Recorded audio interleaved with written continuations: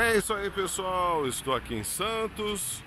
Este aqui, este prédio, é conhecido como Castelinho, claro, por motivos óbvios, né? Parece mesmo um castelo. Ele no passado, ele abrigava aí a sede do Corpo de Bombeiros de Santos. Porque naquela época, este aqui era um ponto estratégico, vamos dizer assim, uma parte central da cidade. Daqui poderia, porque a cidade praticamente se resumia mais ao centro da cidade e alguns bairros aí. Com o passar do tempo, claro que este local não ficou tão centralizado. Então, bom, os corpos de bombeiros criou outras subsedes na Ponta da Praia, na Conselheiro Nébias, na Ana Costa, enfim. E aí surgiu uma proposta da Câmara Municipal de Santos, que ocupava prédios anexos da prefeitura e prédios ali que eram alugados, de revitalizar esse espaço aqui e construir aí alguns prédios anexos. Notem ali, olha, que tem prédios também, não é somente esta área antiga do Corpo de Bombeiros. Enfim, há muitas áreas aqui que são do porto também do, da Câmara dos Vereadores, tanto de um lado como de outro. A gente consegue observar daqui.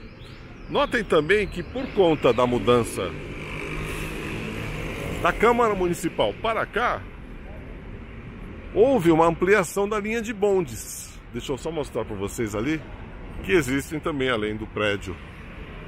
Existem outras edificações aí ligadas à Câmara, foram construídas aí para abrigar aí os escritórios dos vereadores. Então aqui é a Câmara Municipal de Santos fica aqui.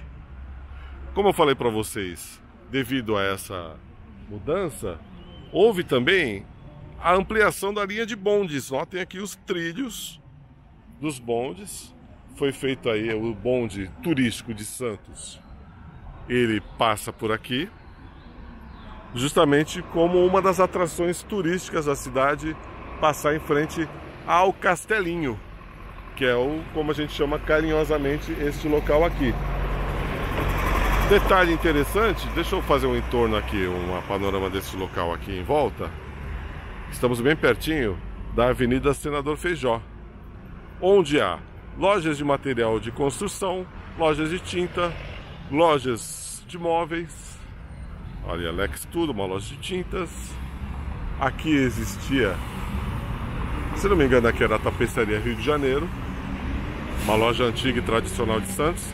E a Senador Feijó é um grande corredor aí, tanto de carro como de transporte público, que as linhas, muitas linhas usam aí a Avenida Senador Feijó para atingir os bairros, assim como as pessoas também que vêm do centro da cidade.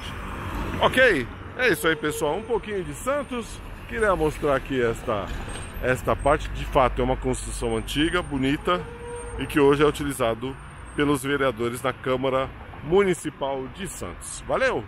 É isso aí, pessoal. Grande abraço e até a próxima.